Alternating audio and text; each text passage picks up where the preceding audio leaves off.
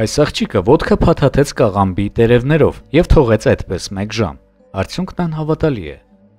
Կաղամբի թփից կոմպրեսն օգտագործում են կերակրող մայրերի կրծքի կաթի կանգի բուժման համար, կրծքագեղձերի այտուցվածության դեպքում։ Այն շատ արդյունավետ է վարիկոզի եւ հոդերի բորբոքման, վնասվածքների եւ այլ վերքերի դեպքում, որոնք ուղեկցվում են այտուցներով։ Կոմպրեսներ կաղամբով։ Անդրաժեշտ բաղադրիչներ։ Կաղամբ ավելի արդյունավետ է կարմիրը։ Վիրակապ, փայլաթիթեղ կամ ֆոլգա, գրտնակ, ջեռոց։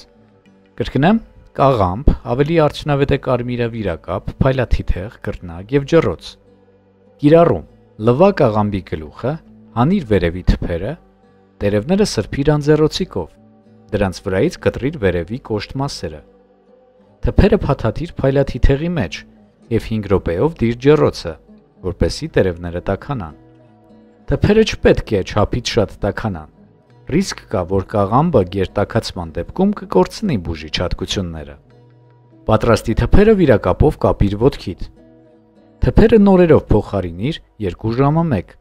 առավելագույն բուժիչ արդյունքի հասնելու համար։ Ամեն ինչ ճիշտ անելու դեպքում 1 օր անց արդյունքը նկատելի կլինի։ Ռադիկուլիդի եւ հոդերի բորբոքման դեպքում Կաղամբով կոմպրես խորհուրդ է տրվում անել նաև մեղրով։ Իսկ կաղամբի թարմ հյութը հրաշալի կոսմետիկ միջոց է, որը խոնավեցնում է մաշկը։